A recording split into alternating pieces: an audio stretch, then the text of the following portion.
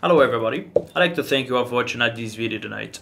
Today I'm going to talk about PHP as a language. I'm not going to talk about uh, uh, technical points or how to create something or mentioning some examples as I used to uh, mention before. Today I'm going to talk about PHP as a language. Many people, and this is the reason why I am uh, saying this right now, many many people say that PHP is just a scripting language as it is a ridiculous language that cannot do uh, many things. This is this is ridiculous. This is not the reality. PHP can do many many things. PHP can deal with many RDBMSs, SQLite, MySQL, and the uh, PostgreSQL, and Oracle, and MariaDB, and MongoDB, and many many else. Okay, this is uh, number one. Number two, PHP can be used uh, to create APIs and to deal with uh, mobile apps, native or hybrid or anything else. So uh, this is number two. Number three, PHP is number one in the field of web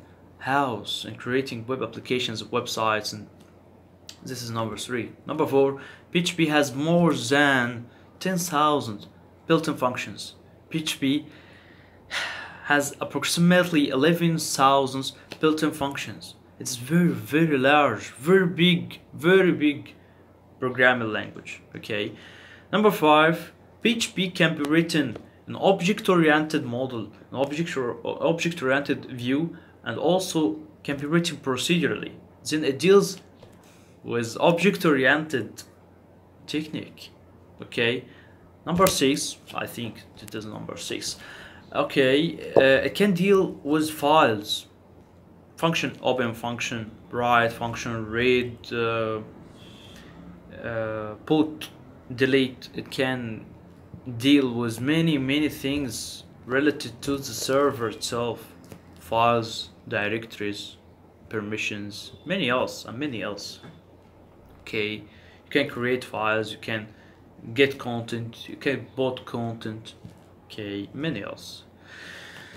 So PHP can be used to create full applications full applications and also can be used to create desktop applications. Yes, it is not recommended, but you can do this too. So finally, PHP is big language. Don't say it is ridiculous.